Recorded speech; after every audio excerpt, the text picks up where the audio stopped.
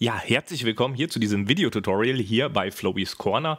Wir haben uns heute eine Funktion ausgesucht, die ganz frisch in die FreeCAD 019 hereingeschlüpft ist und äh, die möchte ich euch gerne in diesem Video jetzt mal im Detail vorstellen. Worum handelt es sich? Ich habe es hier im Tab schon offen. Es geht um die Helix. Helix, eine Schrauben- oder Schraubenlinien, zylindrische Spirale, ist eine Kurve, die sich mit konstanter Steigung um den Mantel eines Zylinders windet. Hier sieht man dann ein paar Beispiele für eine Helix und dann im nächsten Tab habe ich auch schon den passenden Tab offen aus dem Wiki. Immer wieder wichtig, geht in die offizielle Dokumentation von FreeCAD ins Wiki und lest euch da die Sachen durch. An dieser Stelle auch mal der Hinweis, hier kann man auch mitarbeiten. Man kann sich hier in dem Wiki auch anmelden und kann auch Sachen hinzufügen, korrigieren und einfach mitarbeiten. FreeCAD ist ein Projekt, das vom Miteinander lebt. So, wir sehen hier, dass wir hier einmal eine additive Helix haben. Es gibt auch noch die subtraktive Helix zum Material entfernen. Hier kann man sich durchlesen, wie diese Helix funktioniert. Und was auch sehr nett ist, hier unten gibt es auch einige coole Beispiele, die ihr euch dann in Textform auch einmal anschauen könnt. Oder ihr bleibt einfach dran und schaut, was ich jetzt im Video so fabriziere. Wir müssen erstmal sicherstellen, dass wir die aktuellste FreeCAD-Version haben, also über Hilfe und über FreeCAD sehen wir, wir sind hier bei der 019 Revision 23.970 aus dem Git vom 7. Februar 2021, also quasi von vorgestern. Wenn ihr die Dinge hier aus dem Tutorial nachvollziehen möchtet, schaut bitte, dass eure Version genauso aktuell ist wie meine oder neuer, aber nicht mit älteren Versionen. Dann wird das Ganze besonders bei so brandaktuellen Funktionen einfach nicht funktionieren. Zunächst einmal müssen wir sicherstellen, dass wir in der korrekten Workbench sind. Das ist hier die Part Design Workbench, in der wir uns heute aufhalten wollen. Dann innerhalb der Part Design Workbench braucht man zunächst mal einen Körper, also einen Body Container, hinzufügen eines neuen Körpers. Unterhalb von diesem Körper machen wir uns eine Skizze. Wir wählen die XZ Plane, also die XZ-Ebene aus und zeichnen darauf mal eine kleine Skizze. Ich würde jetzt einfach mal mit einem Rechteck starten. Wir zeichnen uns jetzt hier mal ein Rechteck hin und vermaßen dieses Rechteck mit 20 mm in der Breite und 10 mm in der Höhe. Wo haben wir das Rechteck jetzt hier angeordnet? Das spielt jetzt hier wenig eine Rolle, aber ich möchte ja, dass meine Skizze vollständig eingeschränkt wird. Deswegen selektiere ich hier noch die Abstände zur ähm, horizontalen und zur vertikalen Achse. Und dann gehe ich auf Schließen und habe meine Skizze vollständig eingeschränkt. Rechte Maustaste umbenennen und mache da jetzt einfach Profil Helix draus und Enter. So, aus diesem Profil Helix kann ich jetzt schon direkt meine Helix erstellen, ohne dass ich noch irgendetwas sonst machen muss. Also diese Skizze selektieren, additive Helix auswählen und schon wird mir hier eine sogenannte Helix erzeugt die sich um die vertikale Skizzenachse hier schlängelt. Das kommt daher, dass die vertikale Skizzenachse hier standardmäßig eingestellt ist. Hier könnten wir auch andere Dinge einstellen. Wir könnten auch eine eigene Achse definieren aber das passt jetzt zunächst einmal. Wir haben im Mode, also im Modus, haben wir verschiedene Optionen, wie die Helix generiert werden soll. Wir haben einmal Pitch Height, das bedeutet so viel wie Steigung und Höhe. Wenn uns interessiert, was es mit dieser Steigung auf sich hat, dann finden wir das auch im Wiki. Also Steigung ist beispielsweise von dieser Oberkante hier bis hier oben hin. Das ist dann eine Steigungslänge. Die Höhe bezeichnet, wie hoch diese gesamte Helix wird. Also wenn wir jetzt hier eine Height hätten von 150 zum Beispiel, dann seht ihr mit einer Steigung von 11 geht es jetzt bis in die Höhe 150, dementsprechend deutlich mehr Wicklungen. Ähm, wenn wir das definieren möchten über Pitch and Turns, also wir haben eine Steigung, lassen wir die mal bei 11 mm und wollen jetzt aber, dass die äh, Helix zum Beispiel fünfmal sich dreht, geben wir hier 5 ein und dann seht ihr, dann verlängert sich hier die Gesamthöhe. Die dritte Möglichkeit ist, die Höhe und die Wicklungen anzugeben. Das heißt, wir geben einfach eine gesamte Höhe ein von 150 zum Beispiel. Und das Ganze teilt sich jetzt auf fünf Wicklungen auf. Da können wir jetzt aber hier auch zum Beispiel sagen, wir wollen das Ganze nur zweimal wickeln. Also der dreht sich jetzt hier ein, zweimal rum oder sogar nur einmal, also um 150 mm zu überwinden, dreht er sich nur ein einziges Mal um die Achse. Sieht jetzt schon komplett anders aus von der Helix her, aber alles mit diesem Befehl hier leicht zu erreichen. So, dann stellen wir das hier mal nochmal auf 4, dass wir hier so ein bisschen mehr den Standard in einer Helix drin haben. Dann haben wir noch verschiedene weitere Möglichkeiten. Wir können mal noch Left-Handed machen. Dann dreht sich die Helix genau umgekehrt und bei Reversed wird sie nach unten also nicht nach oben, sondern die Helix geht dann nach unten. So, und um den letzten Befehl hier zu zeigen, hier diesen Cone Angle, da machen wir noch was anderes. Da ändere ich kurz mal die Geometrie hier von meinem Profil Helix ab. Ich starte jetzt in einer Skizze, in der ich einen Kreis habe mit 6 mm Durchmesser und 50 mm von der vertikalen Achse hier entfernt. Auf diesen Kreis wende ich jetzt wieder das Helix-Kommando an und drehe mich jetzt wieder um die vertikale Skizzenachse oder auch die globale Base Z-Achse. Das kommt nämlich auch selber heraus. Und da gehe ich jetzt auch wieder nach Height Turns, also ich will vorgeben, wie hoch das Ganze wird und wie oft ich mich drehe. Wir sagen jetzt einfach mal, dieses Teil soll 120 mm hoch sein. Und ich möchte mich drehen, ja, vielleicht einfach mal sechs Mal. Dann finden wir hier die Einstellung Cone Angle, das heißt so viel wie Winkel eines sich vorgestellten Kegels. Aktuell ist das Ganze ja zylinderförmig, aber wenn wir jetzt hier einen Kegel hätten von, ich sage jetzt einfach mal 15 Grad zum Beispiel, ich gebe hier mal eine 15 ein, dann fächert sich das Ganze hier so nach oben gehend aus. Ja? Wir können da auch negative Werte eingeben, zum Beispiel minus 10 Grad dann wird das Ganze nach oben hin schmäler oder minus 15 Grad zum Beispiel auch. Und dann sehen wir, dass diese Helix nach oben sich verjüngt. Gibt es auch mit Sicherheit ganz nette Anwendungsmöglichkeiten, die uns dazu einfallen. Das war jetzt das erste Modell, das ich mit euch bauen wollte. So eine kleine Spirale, die sich nach oben hin verjüngt. Jetzt mit einfach ein paar wenigen Klicks zu machen. Also speichere ich ab Kommen wir zur nächsten Beispieldatei, also neue Datei anlegen, auf unbenannt, neuen Körper im Part Design und dort gehen wir dann auf den Origin, Leertaste einblenden, auf die XZ Plane und dort auch wieder auf eine neue Zeichnung. Dort legen wir uns jetzt hier mal so ein kleines, aber feines Profil an, hier mit dem, äh, mit dem Linienzugbefehl. Hier so ein bisschen sowas in U-Form soll das Ganze nachher haben. So. Ein paar Klicks hier absetzen. Und dann sieht das Ganze schon manierlich aus. Ich scrolle ran mit dem Mausrad und muss jetzt diese Seite hier mal noch auf horizontal setzen. Dieser Seite hier gebe ich schon mal eine Länge. Sagen wir einfach mal 60 Millimeter. Jetzt springt hier die Skizze ein bisschen rum, ihr seht das, aber das können wir ganz einfach reparieren. Hier wieder korrekt ziehen. Dann geben wir dem hier auch einen horizontalen Abstand 4 mm, klicken die und die Linie an und sagen, dass diese beiden Linien gleich lang sein sollen. Dann können wir auch noch was Nettes machen. Wir können jetzt diesen Punkt und diesen Punkt auswählen und können einfach sagen, die sollen horizontal zueinander ausgerichtet sein. Können wir uns die Hilfslinie nämlich sparen. Jetzt haben wir noch vier Freiheitsgrade, das ist vollkommen in Ordnung. Wir wissen nämlich noch nicht hier die Gesamthöhe. Sind 15 mm und wir wissen noch nicht diese Bodendicke. Ja, da selektieren wir dann auch einfach diese beiden Punkte hier und sagen in vertikaler Richtung ebenfalls 4. Jetzt dürften noch zwei Freiheitsgrade offen sein, genau, weil nicht definiert ist, wo meine Skizze liegt. Ich selektiere mir einen Eckpunkt und die Horizontalachse und sage Punkt auf Element festsetzen. Und jetzt einfach noch die Distanz hier von diesem Ursprungspunkt bis zur Ecke hier. Horizontale Richtung 120 Millimeter. Und okay.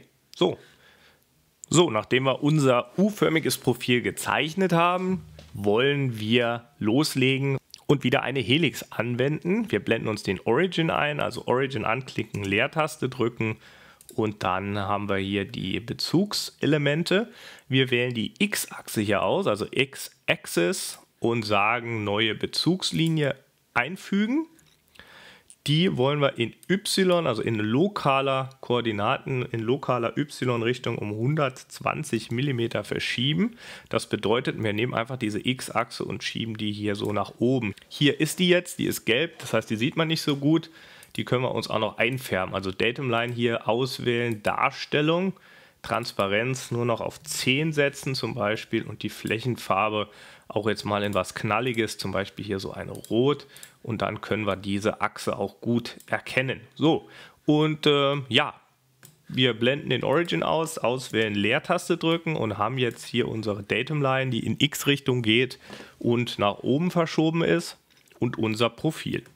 Wenn wir das Profil nun auswählen und wieder eine Helix anwenden, bekommen wir standardmäßig jetzt erstmal so etwas raus. Das sieht auch jetzt schon wieder aus wie so eine Schraubenfeder. Mit dem einzigen Unterschied, dass es eben jetzt eher so unser U-Profil ist, aber ansonsten kommt es aufs Gleiche raus. Also wer irgendwie mal so eine Bahn für Modellautos bauen möchte, die hier so runterläuft, der ist jetzt hier schon richtig. Und genau so was ähnliches bauen wir nämlich jetzt auch. Wir wählen jetzt statt der vertikalen Skizzenachse unsere Reference, also Select Referenz aus, unsere Achse hier und drehen uns auch nur einmal also 150 mm, das jetzt nicht ganz so krass ist. Ja, und schon hätten wir hier einen Looping erzeugt. Ja, da steht doch auch dem Matchbox Auto Looping nichts mehr im Wege, was wir hier einfach auch wieder mit so einer Helix bauen können. Okay. So, und das nächste, was ich zeigen möchte, das habe ich schon vorbereitet. Jetzt mache ich mal so auf Hobbythek Jean Pütz. Das habe ich für euch schon vorbereitet. Wir gehen auf Öffnen und das Ganze habe ich Bohrer genannt. Das ist hier dieses schöne Teil. Da sind Sachen drin, die uns jetzt erstmal nicht interessieren. Deswegen gehen wir hier mal zurück auf die additive Helix, sagen Spitze festlegen und sind jetzt im Helix-Zustand. Wie habe ich dieses Teil denn hier erzeugt? Ich klappe das Ganze mal hier auf und gehe auf den zugrunde liegenden Sketch drauf. Hier habe ich eine etwas komplexere Skizze angelegt, die ich jetzt nicht live in diesem Video hier konstruieren wollte, weil die dann doch ein bisschen aufwendiger ist.